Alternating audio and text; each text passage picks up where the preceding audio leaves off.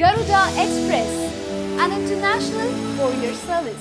వచ్చే ఎన్నికల్లో మళ్ళీ ఎలాగైనా అధికారంలోకి రావాలని ప్రయత్నిస్తున్న సీఎం చంద్రబాబు ఇతర పార్టీల నుంచి ప్రోత్సహిస్తున్నారు.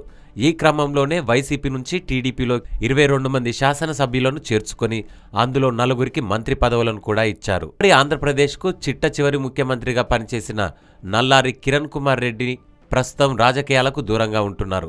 రాష్ట్ర విభజన సమయంలో కాంగ్రెస్తో తీవ్రంగా విభేదించి సీఎం పదవికి కాంగ్రెస్కు రాజీనామా చేశారు. ఈ క్రమంలోనే జై సమాఖ్యాంధ్ర పార్టీని స్థాపించి రెండు వేల పద్నాలుగు ఎన్నికల్లో ప్రజల్లోకి వెళ్ళారు. కాగా ఆ ఎన్నికల్లో జై సమాఖ్యాంధ్ర పార్టీ ప్రజల విశ్వాసాన్ని చూరగొనలేకపోయింది. దీంతో కిరణ్ కుమార్ రెడ్డి అప్పటి నుంచి రాజకీయాలకు దూరంగా ఉంటున్నారు.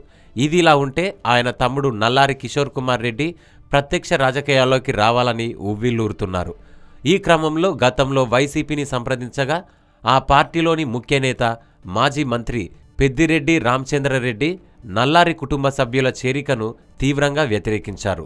ఇక కిషోర్ ప్రత్యామ్నాయం వైపు ఆలోచిస్తూ టీడీపీలో చేరాలని అనుకుంటున్నారట.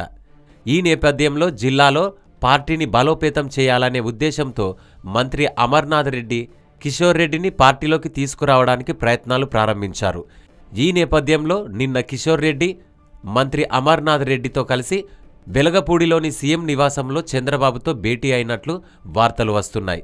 అన్ని కుదిరితే వచ్చే వారంలో చంద్రబాబు సమక్షంలో టీడీపీలో చేరడానికి కిరణ్ సోదరుడు కిషోర్ కుమార్ రెడ్డి ముహూర్తం సిద్ధం చేసుకున్నట్టు తెలుస్తోంది.